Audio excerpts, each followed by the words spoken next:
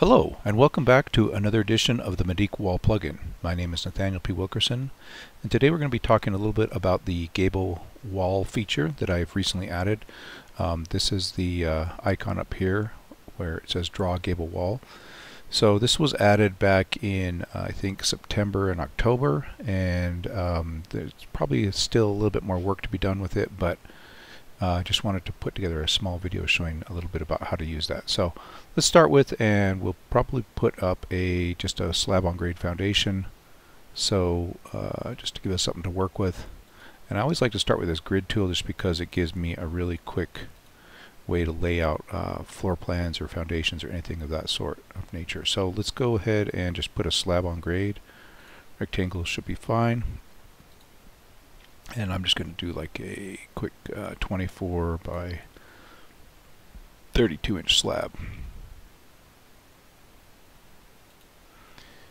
Alright, and let's just uh, put some number 3 in there. Okay, so there we have a slab. We can use that now to lay out our walls. So when I start drawing gable walls, I actually typically like to just, um, and you can do this however you want, but I think the easiest way to work with uh, gable walls is to first just lay out your outline of your perimeter uh, of your exterior walls and just start with rectangular walls because the rectangular wall tool um, uses the polyline mode and it allows you to just quickly throw up your walls just like this. So I'm going to go ahead and just wrap this uh, foundation with uh, some walls. And let's drop them right there. Okay. And you notice um, that the edges have been turned off. Uh, and that, by the way, is a new feature. I'm just going to show you that really quick here. So you have this what's called remove cladding lines uh, feature, which essentially turns off the lines uh, or edges, I, I, guess is a better word, uh, with the cladding. Um, that's just a new thing I added, and that is useful in situations, and that says parameter right here. Um, let's go ahead and turn that back uh, to the regular setting, which is no. And then you'll notice if you regen these walls, um, the the lines reappear uh, or edges reappear. okay, so yeah, it's just another uh, little thing that might help where you're uh, blending a lot of stacked walls or other uh, wall situations where you have split walls uh, adjacent to each other. Okay, so I'm going to first of all go ahead and turn off some of this uh, sheathing and cladding uh, layers just so we can kind of get a better idea what's going on here. Let's turn off the gypsum too while we're at it. Okay, so there's our skeleton, right?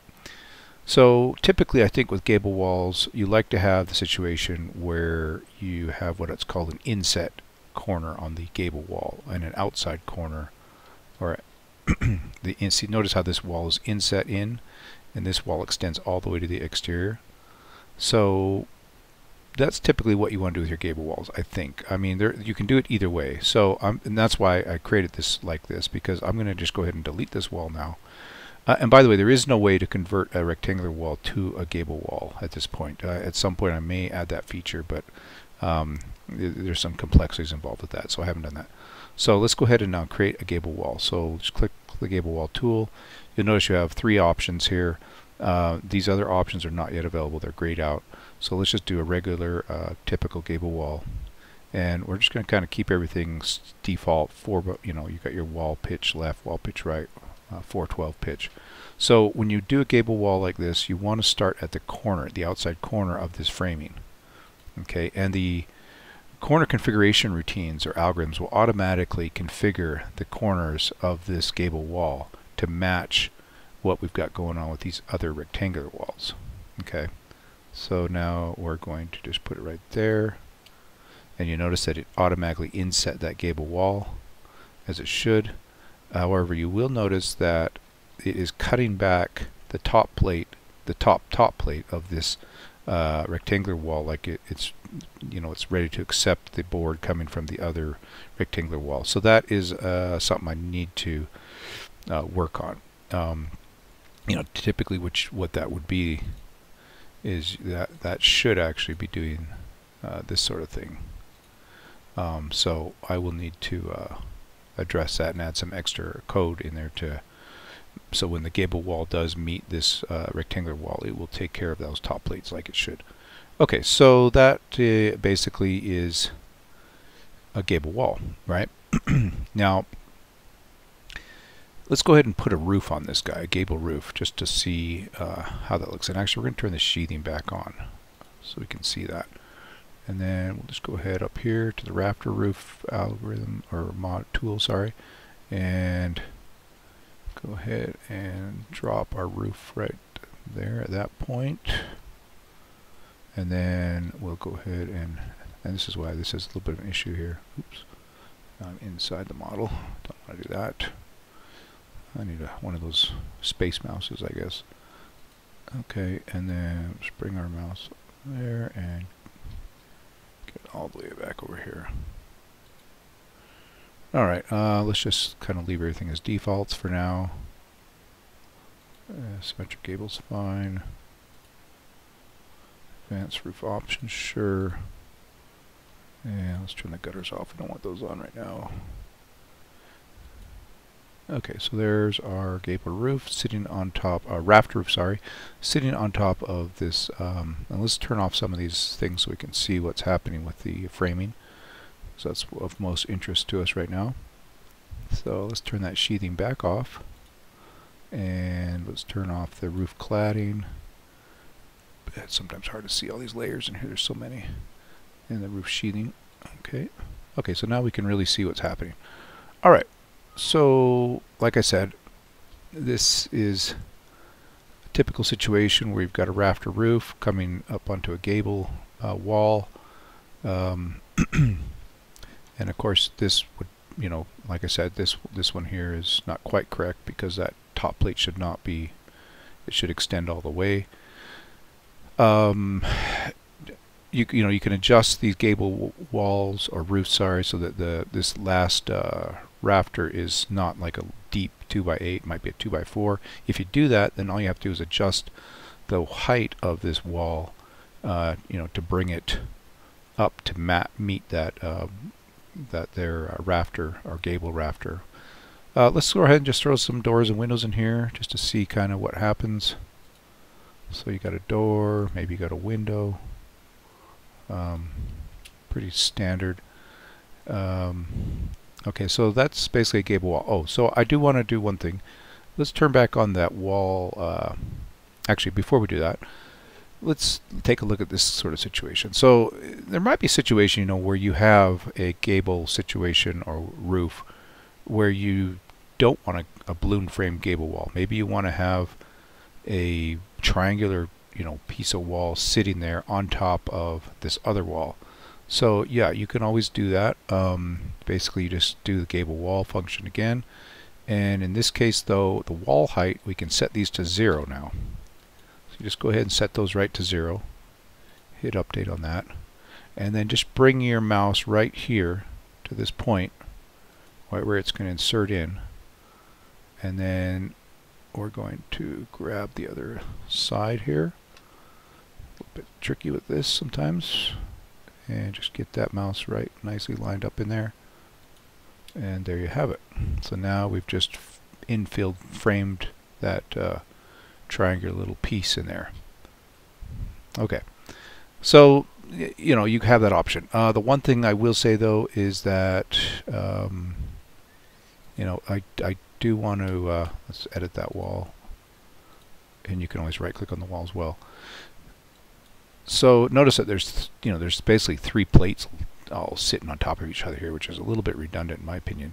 Um, so, you know, you've got a couple options really. Uh, you can change, well, I guess you could change this to a single plate, but I'd, I'd rather not do that. So what I do need to do actually is add in the ability to set the bottom plate quantity to zero for this uh, type of gable wall. So that is also something on the to-do list. Um, but in this case, I'm going to actually just uh, bump the top plate here to 1 just because I can just to show you what happens and that's pretty basic. Okay, um, so there, there you have it. So let's say we want to put in, you know, maybe a vent up there or something. So this gets a little you know, we got to we got to play with the settings a little bit to make this work.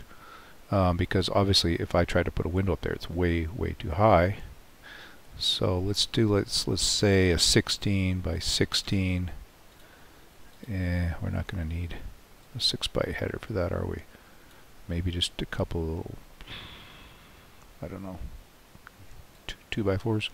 And then we're going to turn on the advanced window options. We're going to turn the shutters off. In this case we don't need interior casing. Maybe the exterior trim's fine. And we're going to change this from a picture window to a louver. Update on that. And I'm going to say just I don't even know how high I want this right now. Okay so it's obviously way too high. Let's say 30 inches maybe yeah that works I think that'll work let's just come along here find the center of that okay and you can see it's framed in a little uh, a louver into that thing. Okay. Now let's turn back on our sheathing and our cladding. So let's turn on the wall sheathing again. And where's our cladding? There it is. Right. So we have a gable end wall that's not balloon framed. And we have a gable end wall that is balloon framed. Okay. Um, you know, and obviously there might be situations, you know, where you've got soffit and what have you coming in, and this sheathing and cladding obviously is not up to the soffit, or maybe it needs to be up to here. There's no soffit; it's just an open, open soffit. So let's let's just assume, for instance, that this is an open soffit. Okay. Um, and so what we can do is just like the rectangular walls, you can offset uh, the top and bottom of your cladding sheathing of these gable walls. So let's just, um, I'm just going to draw a little line here just so I can measure easily. I'm going to drop a line right there, if I can get it. And I'm also going to switch my units to decimal just because I want to get a better, more accurate uh, number here. Alright, so if I measure that line, I'm, I'm looking at the, you know, the exact vertical height there. Right, okay. So basically I just want to bring uh, my sheathing and my cladding up to meet these uh, out little outlookers, right? so what we can do is just edit this wall and we go down here and we take the sheathing, the top, this T stands for top, that stands for bottom, so we're just going to bump that up, 6922, and we're going to also do the same thing for the cladding.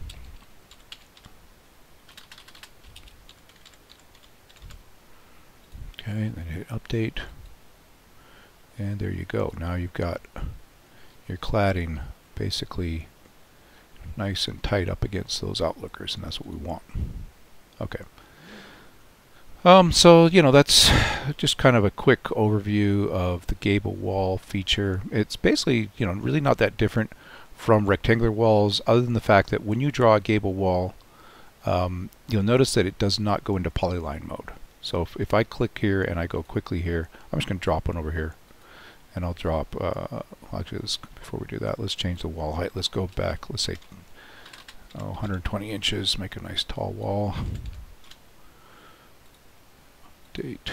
Okay, so now, as soon as you draw that wall, you're going to notice that the tool stops terminates. Um, and because basically, basically, the, there's not really any situations where you're doing a polyline uh, gable wall situation. So you know you wouldn't draw a gable wall here and then another gable wall, wall over there. I mean there are a couple situations, but it's kind of far and few between. So basically, it's just a one-off. It's a line tool, not a polyline tool. Okay, so that's a typical gable wall. Oh, and a few things with gable walls. Um, you've got quite a few options here uh, for instance, you know, you can always change up the different pitches on your roof. And so it automatically will figure out, you know, what to do with that and, and frame it accordingly, obviously. Um, you can also change the wall height. And, you know, there are certain geom geometries that you might get yourself into that won't quite work. And, um, you know, I can't say the plugin will gracefully handle them at this point, but it will try its best to handle them. So here we've got, you know, we've got a left side that's 12 feet, a other right side that's 10 feet. With a 6 uh, pitch, 612 pitch on the left and a 412 pitch on the right. Okay, so you can get some pretty interesting uh, geometries configured with this thing. Okay, so let's go ahead and just to show you real quick, um, shed wall, same sort of thing. Now you, all you're dealing with is one pitch and one wall height on the left, and then the wall height on the right is calculated for you.